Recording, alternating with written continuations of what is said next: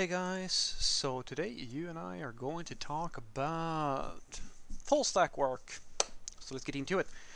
So the question in question was, Fredrik, how can I become a full stack engineer the fastest way? I have been working for one year as a backend engineer and I'm thinking of joining a startup where I would be able to work on front end, backend and DevOps.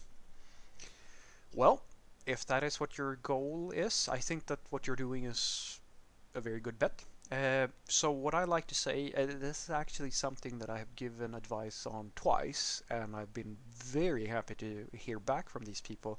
Uh, they actually did take my advice. I remember this guy, he asked me, this was years ago, uh, he had this conundrum where he had to, he was gonna go into one of two companies, either a startup where he uh, he did very much the same things that you were doing, or a bigger company where he was going to work uh, on a specialist team where they were developing an SDK, SDK and that other uh, teams would consume.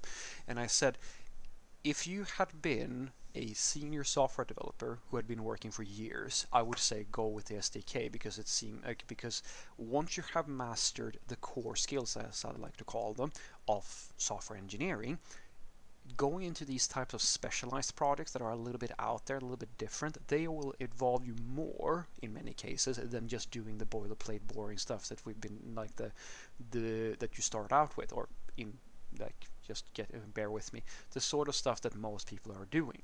But if you are a junior developer don't do that you need to go through basic training first. The reason why you need to go through basic training first, at least from my perspective, is because without the basic training, you're not really learning the core skills of the industry. And those core skills are very often very, very important because that is the bread and butter of the entire industry the things that you like you mean these highly specialized projects that you might be learn uh, reading about or there are people who do tech talks about various niche sort of things they are the minority. They're very cool but they are the minority. The people who are doing the bulk of the work they're the guys and girls who are sitting in the audience and they're there to learn from these people who do something extraordinary something different something out there but all of the people in the audience are usually web developers who are doing the 9 to 5 thing at some e-commerce company or something similar.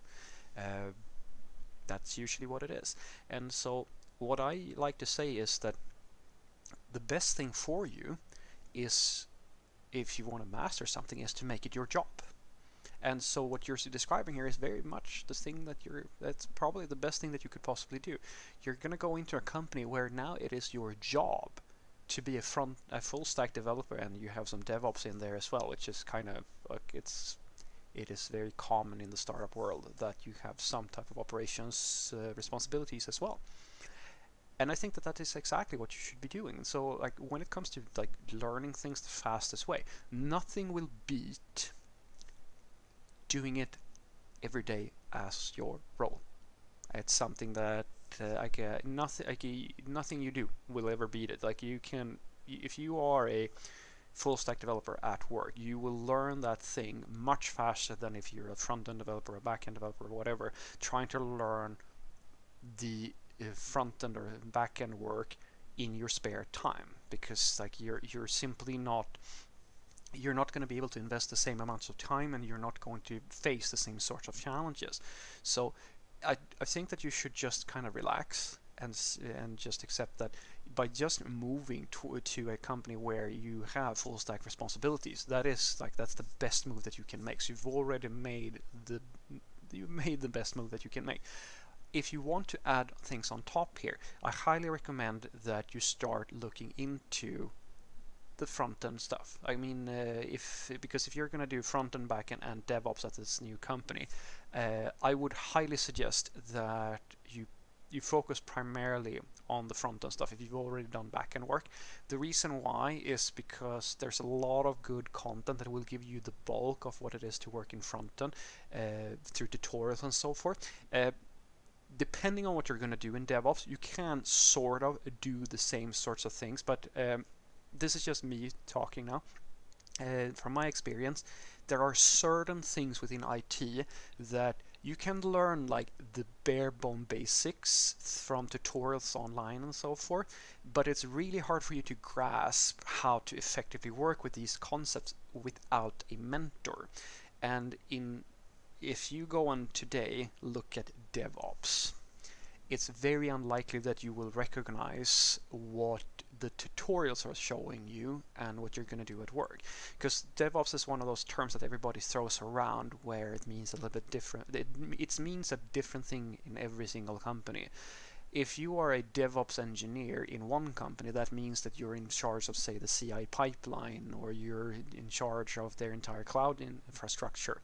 But in another company, it just basically means that they have a full-fledged team of ops, uh, uh, operations engineers who provide you with environments and clusters and so forth and then all you do is use something like Kubernetes or Chef or Ansible or something to like spin up your testing environment etc etc so it's a very different thing. So I think that you should focus more on the front end stuff because the, the, the thing that you will find on the internet about front end is very much the same sort of thing you're going to find in the company. But when it comes to DevOps it's better for you to learn that on the job. And you will learn that on the job uh, and it's, it's I think that th that's just a better a better approach to it because as I said every company means something different when they say DevOps and every company has a different infrastructure but a tool like React or Angular or Vue it's the same tool in every company and it's usually used in the same way. So what I want you to take away from this is that if you want to learn how to be a full stack engineer in the fastest way, the number one thing that you should do is to find a job where it is your job to be a full stack engineer. Nothing will beat having the label full stack developer if that's what you want to be because you're going to be facing the same the, the challenges that are relevant to that role uh, and once you have that just give it time because it does take time to learn something new. And in this case, if, if it's a backend developer who wants to learn the front end and the, operations parts of the whole thing, I highly suggest that you put your main focus on the front end work because the front end and the back end uh, work is it's usually all the things that you can learn on the internet. They are very good representations of what you're going to face in the workplace, and those just those two th together they make you a application developer, which is the normal thing. That's like what the majority of all companies are looking for. The reason why DevOps is is coming into the mix of things that people want you to do is because we're trying to get more and more out of our developers. But it's usually fine for you to be a little bit weaker in the operations part than it is for the application development because most companies are still using operations specialized staff to take care of that part. And another pitfall that is good to know about about learning about DevOps online is that the tutorials will just show you some maybe popular tools and things that like Docker, Kubernetes, etc., etc. But every company's infrastructure is usually different. It is, it, it is extraordinarily unlikely that you will be a capable DevOps or operations um, uh, engineer ready to go into your company's infrastructure by just learning things online. It's much more like better for you, in my opinion, to get a mentor or learn on the job when it comes to DevOps. And I argue the same thing about pen testing and hacking. There are certain things that are really, really hard to get good at by just doing tutorials. You can get the basics, but learning by doing is much more effective. Have a great day.